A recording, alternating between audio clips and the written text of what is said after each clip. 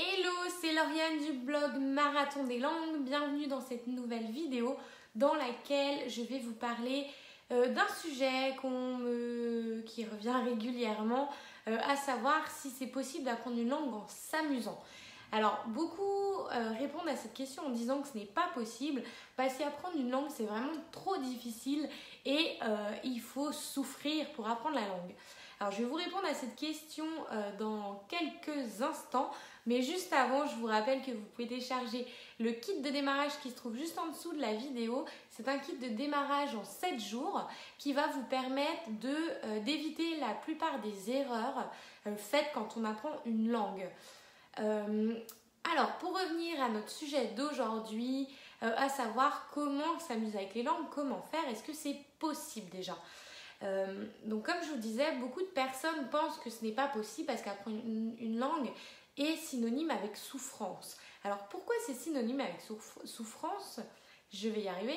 C'est euh, généralement on associe l'apprentissage de la langue avec l'école et quand on pense à l'école, on pense au bachotage, à l'apprentissage par cœur, euh, à la grammaire, à voilà tout ce qu'on n'aime pas forcément dans une langue et on a toujours appris à apprendre une langue de cette manière.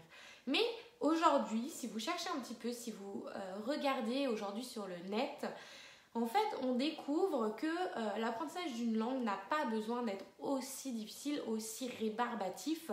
Et euh, je rejoins totalement ces, ces, concepts, ces idées qu'on trouve sur Internet parce que apprendre une langue, justement, ne devrait pas être une souffrance parce que euh, quand euh, eh bien, vous voyez les résultats à l'école, généralement quand on sort de l'école, on a du mal à parler la langue, ou on ne la parle pas du tout, ou vraiment les taux de réussite sont vraiment très bas.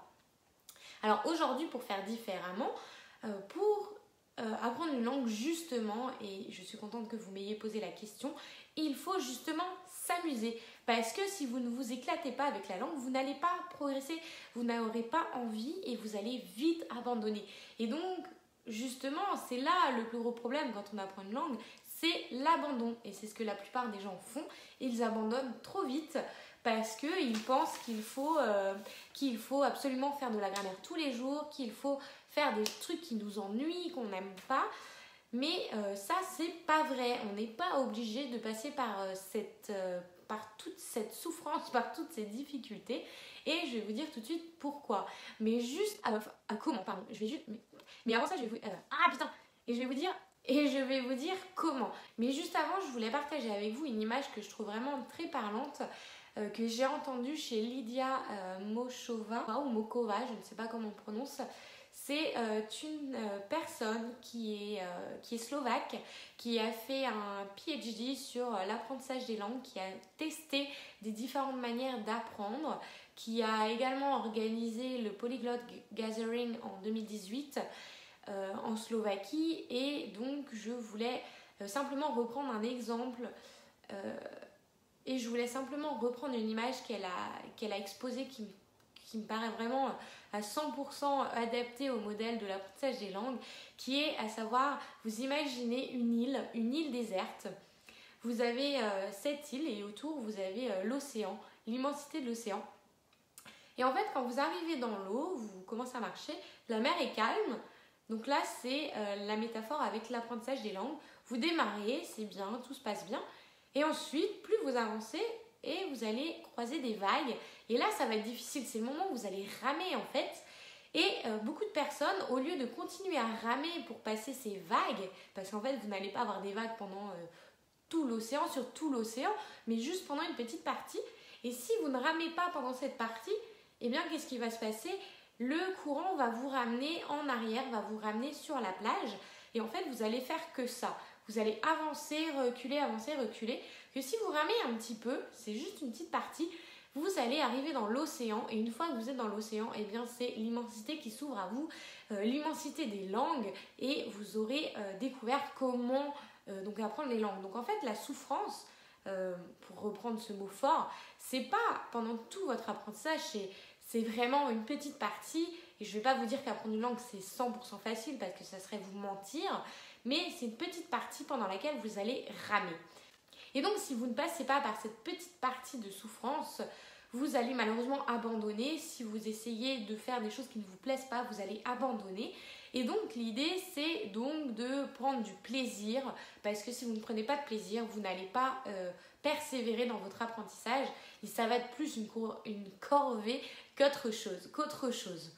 Et donc euh, pour prendre du plaisir dans une langue, on va inverser le schéma. On ne va pas essayer d'aimer apprendre une langue, mais on va faire des choses qu'on aime autour de la langue qu'on apprend. Alors comment on fait? Eh bien tout simplement on va se poser la question qu'est-ce que j'aime dans la vie? Quelle passion ai-je? Comment euh, est-ce que je pourrais euh, adapter mon apprentissage des langues autour de ça? Alors si par exemple vous aimez le jardinage, la cuisine, eh bien faites des choses dans la langue. Recherchez des groupes Facebook dans cette langue sur ce sujet. lisez des revues dans cette langue, écoutez des podcasts dans cette langue, regardez des vidéos euh, enfin voilà, il y a énormément de choses à faire. Écoutez des séries, des vidéos.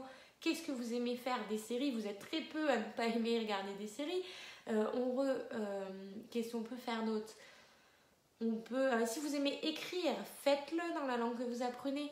Alors évidemment, au début, quand on démarre, c'est pas facile, mais justement, c'est ces vagues qu'il va falloir, qu'il va falloir sur les, pendant lesquelles il va falloir ramer. Ça va être difficile, mais faites par petits morceaux. Faites par petits bouts. Si vous avez du mal à écrire, ne commencez pas par écrire une page, mais commencez par deux mots, ensuite par une phrase, ensuite par deux phrases, et euh, agrémentez comme ça au fur et à mesure. Faites de plus en plus, mais acceptez qu'il il va falloir être patient, parce qu'apprendre une langue, ça se fait euh, petit à petit avec l'accumulation, avec euh, la répétition. Donc rappelez-vous, ne souffrez pas avec les langues, mais seulement pendant une toute petite partie et euh, amusez-vous, faites vraiment des choses qui vous font plaisir parce que sinon vous n'allez pas tenir très longtemps la course des langues et l'idée c'est quand même de franchir la ligne d'arrivée avec les langues. Euh, donc voilà, si vous avez aimé cette vidéo, n'hésitez pas à mettre vos commentaires juste en dessous, à liker, à vous abonner à la chaîne Marathon des langues si ce n'est pas encore fait. Et donc moi je vous dis à la prochaine dans la prochaine vidéo. Ciao